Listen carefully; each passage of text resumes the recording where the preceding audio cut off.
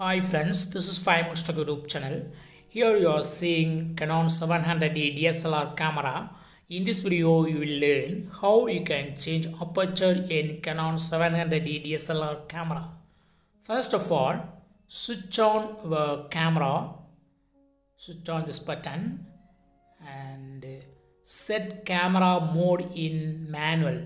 There are a lot of modes like automatic, shutter speed priority, aperture priority, program mode, etc.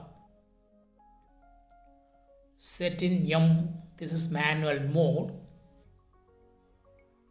And to change aperture, you have to click on this second option.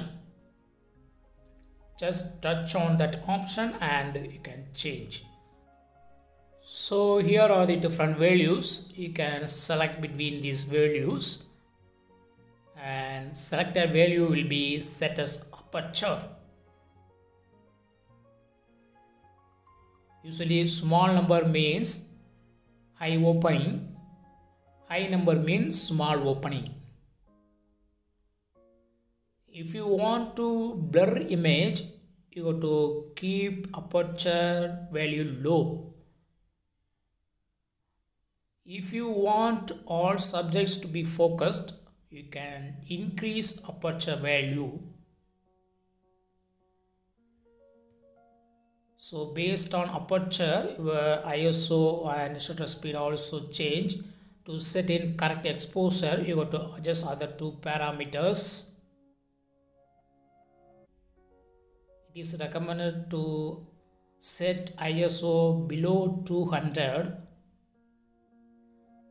in daytime there will be a lot of light from the sun so set as low as possible. Low value for uh, ISO is 100 and uh,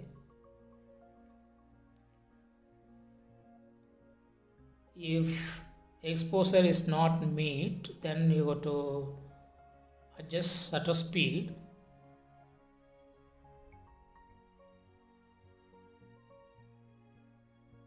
so in this way you can change aperture and change other parameters to set in correct exposure in your DSLR camera.